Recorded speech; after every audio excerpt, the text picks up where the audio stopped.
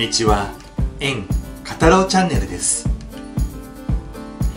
オリコンの2021年6月21日付の演歌歌謡曲 CD 売上ランキングが発表されました。その内容をまとめてお伝えしていきます。このランキングの集計期間は2021年6月7日から2021年6月13日です。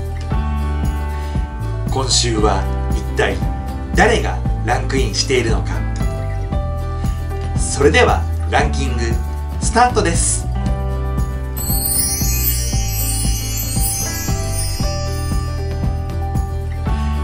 第20位玉三山ひろし発売日2021年1月13日。日本クラウン。第19夢の続きを。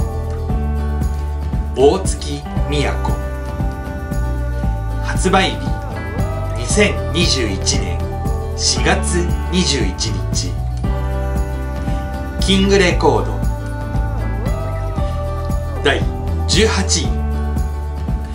惚れたんだよ。北川裕二。発売日。2021年5月26日。キングレコード。第17位。桜。市川由紀乃発売日2021年3月10日。キングレコード。第16位。日本に生まれてよかった。五木ひろし。発売日2021 2021年5月12日。ファイブズエンターテインメント第15位。一人貴船川。青い香り。発売日。2021年5月5日。徳間ジャパンコミュニケーションズ。第14位希望の歌。立ち上がれ日本。花園直道角田信明。発売日2021年4月14日徳間ジャパンコミュニケーションズ。第13位。星屑の街。デュエットバージョン。三橋道也。福田浩平。発売日。2021年。6月2日。キングレコード。第12位。星空の酒。松尾雄志発売日。2021年6月2日。日本クラウン。第11位。女のいろは坂。竹川美子。発売日。2021年6月2日。日本クラウン。第10位。南風。氷川きよし。発売日。2021年。3月30日。日本コロンビア。第9位。誘われてエデン。望郷。辰巳優斗発売日2021年1月27日ビクターエンターテインメント第8位一番素敵な港町秋元純子。発売日2021年5月26日。キングレコード。第7位。星旅。おかゆ。発売日。2021年。6月2日。